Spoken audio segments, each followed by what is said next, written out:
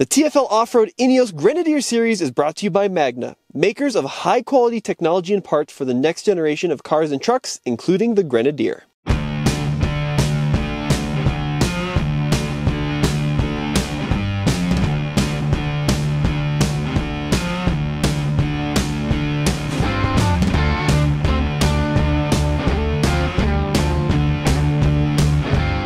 Guys, welcome to our next episode in our Ineos series. And as you know, we've taken it off-road, we've taken it on-road, but there's one thing we haven't done, Nathan. That's right. We haven't taken it through a car wash with all the windows open yet. No, we haven't done that. What I'm talking about, of course, is we have not overlanded it. What this is naturally built for, not rock crawling, not mudding, but actually long distances in beautiful scenery across spectacular parts of the world. And in this case, Moab, Utah, because we're here at Chicken Corners. That's right. This is the second time we've actually gotten this vehicle to Moab, Utah, and now we have an opportunity to really stretch its legs.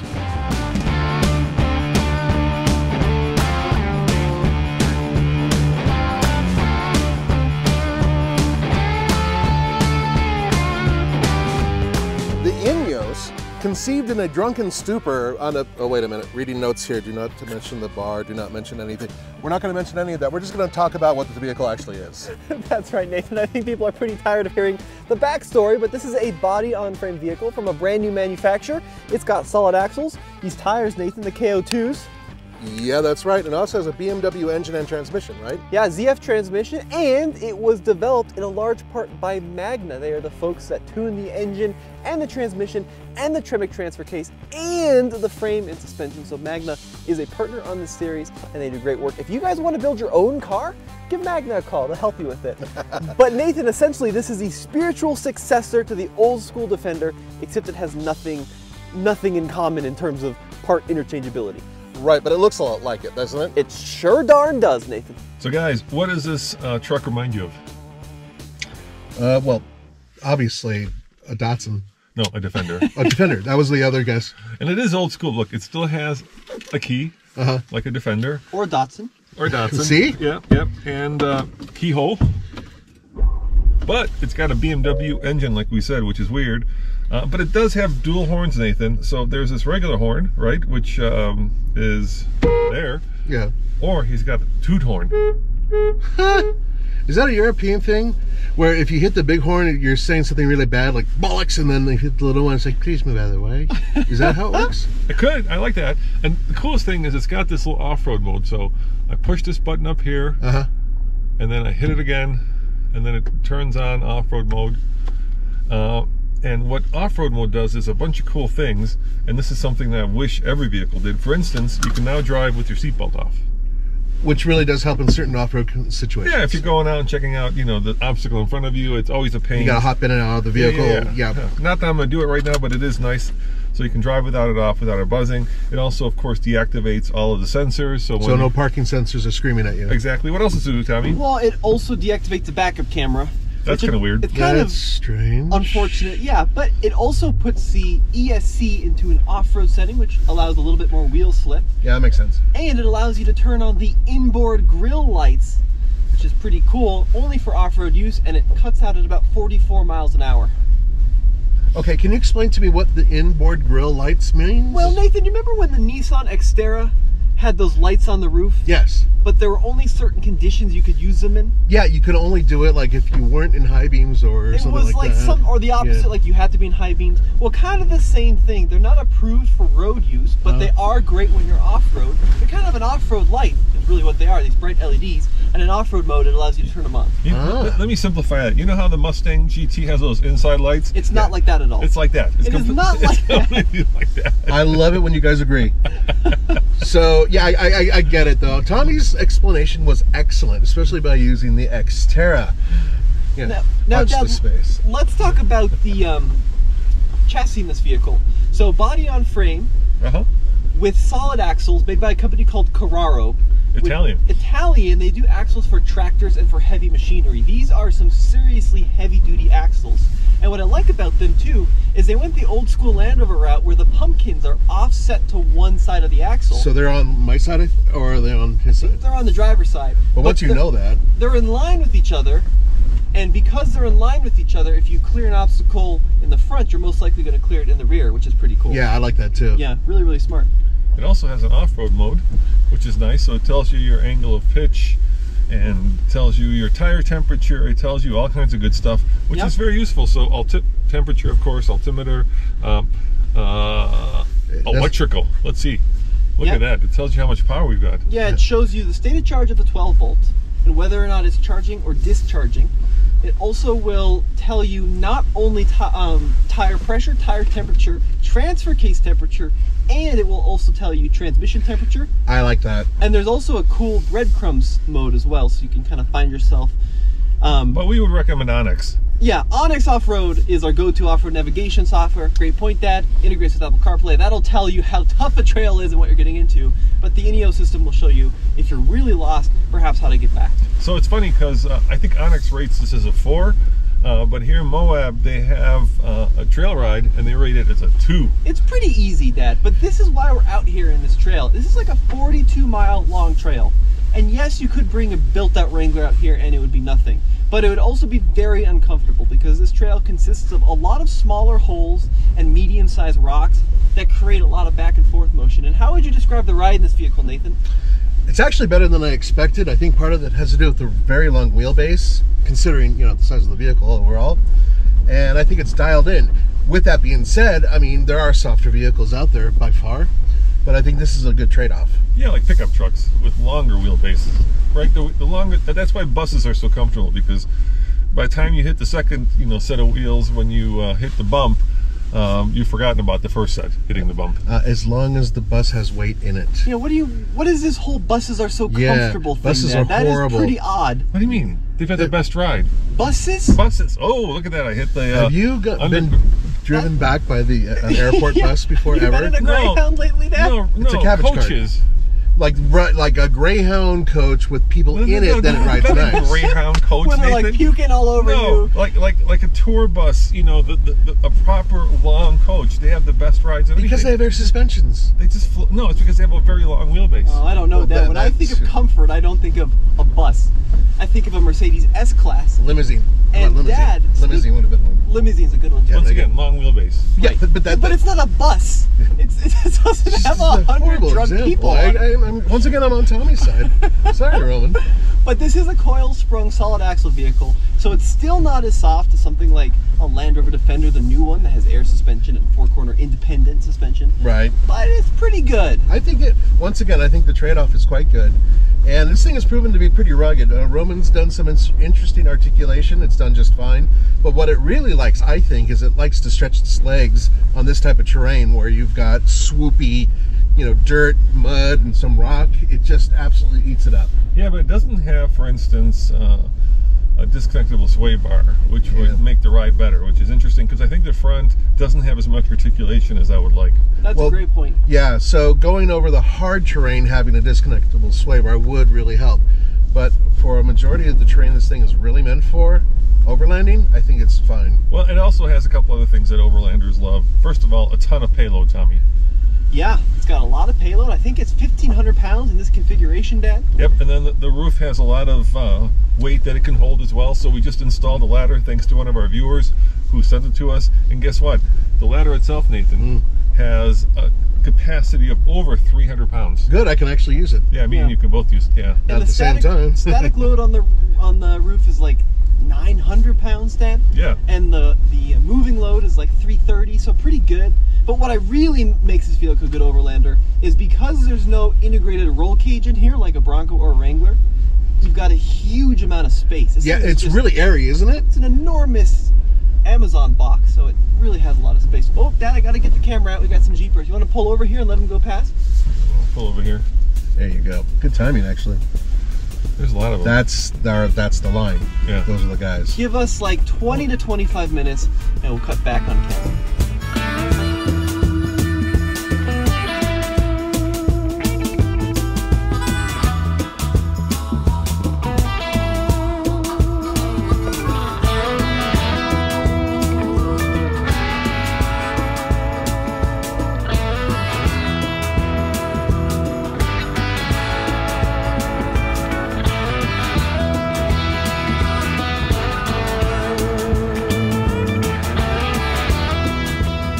Well, guys, probably what you don't know is that while all those Jeeps were going by, we had lunch. Yeah, it was perfect timing. There's like 50 of them that passed by, so we were able to eat a whole lunch. You know, and as much as I love the Wrangler, Nathan, let's face it, as an overlanding rig, it's got a little bit to be desired, right? because that sports bar or roll cage takes up a lot of room, and when you're overlanding, space is at a premium. It's one of the reasons why I think the Gladiator is a great candidate for something that you want to convert into an Overlander. It has more capacity, more room.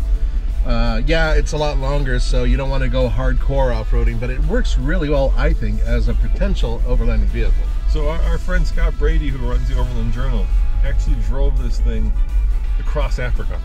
Yeah, this Yeah, thing. This thing, yeah, this thing right here. Uh, and then we had some other friends who drove it up uh, to Alaska on the trans. Uh, what's that race called, Tommy? The, the Alaska race? Oh, I don't remember, Dad. Yeah, I Iditarod. No, no, No. no. Yeah, Yeah. yeah. They hooked up some uh, some sled dogs, to it. and Yeah. the dogs pulled it, right? I got all the answers today. But but you know, it was designed by an overlander for overlanding, and I think that they've done an extremely exceptional job with that. My only like my only concern is uh, the seats are a little bit firm. They are, and the price is a little firm. And the price is It's very firm. firm. Yeah, price is very firm. What do you think, Tommy? Well, I think a couple other things we need to talk about. First of all, towing capacity. The most you can tow in a Wrangler or a current 4Runner is 5,000 pounds, where this will tow nearly 8,000 pounds, which is a lot. Still not as much as the new Lexus GX, though, which can tow up to 9,000 pounds. So that has even more capability. This vehicle is also available with a dual battery group, so you can buy it with a second battery underneath the seat, and it has places around the vehicle that's pre-tapped for electrical accessories, which is really awesome. And then you use the overhead switches to flick them on. So there's a lot of nifty features in this vehicle. But as Nathan mentioned, that price really is going to be the big deterrent. 71 and 71.5, 72 starting. I don't think you're going to get anyone to get that price. No, this one's about 80 Yeah. with uh, the locking diffs and the snorkel and the diamond plating and the rock rail. So uh, it is a very pricey vehicle. And of course, that Lexus, that's also going to be a pretty awesome contender in this space. Yeah, but here's the thing, Tommy. The design of this from the get-go was to go overland and to go off-road. And unlike the Lexus, I don't feel bad about taking this off-road. I think that to me is the biggest difference, right? You get a G-Wagon, you can take that off-road, but it feels very expensive and in some ways very precious, right? You want to get the thing ceramic coated. This to me feels like it's meant to be out here. And that's a huge uh, psychological thing that you need when you're, you know, off-roading expensive cars. Don't you think it's the same thing though with the GX Overtrail? No, I don't think so. I think that comes out of a very fancy schmancy uh, dealership. You know, It's cheaper though. it's not the cost of the money; it's the mindset of the vehicle. And this to me says, "Take me off road," whereas a Lexus says, "Take me to the opera." I don't know. I disagree. Uh, I think you're still in the bus zone. Yeah, I think. Yeah, I, I really did. Sorry, I Have don't. you have you never been on a coach? yes, I've been on plenty. They are very uncomfortable. No, Dad. no, they're not. The- Crammed into the back of the thing. The right? No, no, no. I'm not talking about an airport bus. I'm talking about a An coach. inner city bus. No, I'm, I'm talking about LA Unified School buses, Maybe all my life. They were horrible. they, they glide across. Guys, help me out. Come on, in the comments below. If you've been on a Because it's it's a good point, Nathan. Because foreign diplomats from all over the world travel around in buses. That's what they like Yeah, over uh, limousines. They- Absolutely. They never Yeah. use limousines, Nope. only buses. That Toyota Crown was never used in Japan.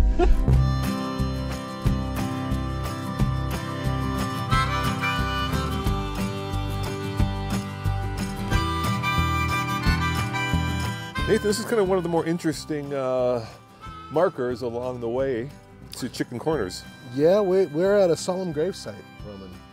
Yeah, so uh, Joseph Hills Johnson, Moab cattleman and chief deputy sheriff, born December 22nd, 1895, died at this spot on December 30th, 1927. Because of a horse. I think so. I think he, he, either the horse's leg was broken or his leg was broken. One of those two, and he could not make it back. He should have had a car. He should have had a car. See, that puts things into perspective, doesn't it? It does put things into perspective. Have you noticed all the stuff that people have left? I mean, there's a lot. Look, there's even a sheriff's badge. Yeah. out. Look, look, we have a sheriff. We have You're going to be cursed if you keep that, by the way. yeah, no, no, I'm not going to keep it. You And gotta- a lot of bullets. A lot of, yep. I mean, big bullets. Yeah, yeah, yeah, yeah. There's, there's, yeah, there's some, some interesting. A lot of money left behind. I'm, I'm guessing that the BLM collects this because they certainly don't get paid enough. so, Oh, wait, can of beer. it, yep, in, in honor of the um, management here and also of uh, Mr. Uh, Johnson. I'm going to leave a prepaid Visa card here. Bringing it into the modern century, right? All these Well- dollar bills are going to blow away. This is all about TFL being you know, giving back a little bit. But in all honesty, guys, if you're out here, this is really cool to see. It's worthwhile seeing, but please don't put your trash here. And if you if you saw that number on there on the camera, don't spend it. It's it's it's a solemn grave, please. Please.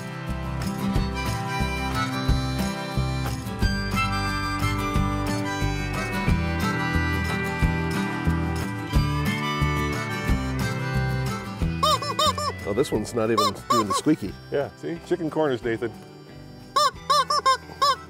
I'm choking a chicken. I did that on camera. All right, uh, this is I'm, I'm now I'm talking to you, our friends at Lexus. Uh, if you found what I said objectionable, which I could see these guys found, please loan us a GX and let me take it out here to Chicken Corners, and I'll change my mind. Fair? I, I just I don't have anything to say about that. And Tommy, who's behind the camera, is about to throw it at his father. So here's the important part. Also, Toyota fans, we love you. So the I do agree though that the Ineos is a wonderful vehicle, although a bit pricey. Look, there, like I said, there are things on this on this truck, and it is a truck. It's body on frame, right? That drive me like that. That speed sensor thing would keep me from buying it, especially at 80,000. Oh, explain that. Yeah. So what it does is, if you exceed the speed limit, it beeps incessantly, and then you have to turn it off. And then when you turn off the truck, turn it back on, it comes back on every time. And then if you have Apple CarPlay going, you can't really find where that feature is because Apple CarPlay takes over the screen. And I spent a Saturday pulling my hair out driving that thing around town. So this is perfect. No speed limits.